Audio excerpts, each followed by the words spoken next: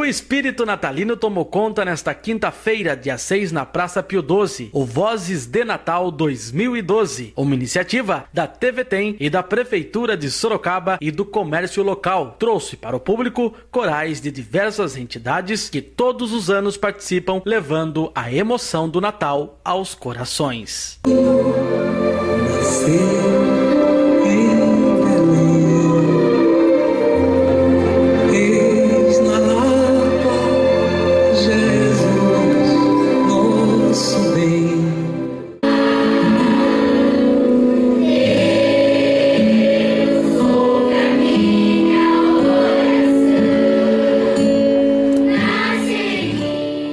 O centro da cidade de Sorocaba, o espírito natalino é o mesmo, com as cantatas de Natal. A cantata de Natal no Mosteiro de São Bento, as crianças das janelas do prédio histórico entoaram canções como Festa de Luz, Felizes Estamos, O Sentido do Natal, Forró dos Anjos e o Aniversário do Rei.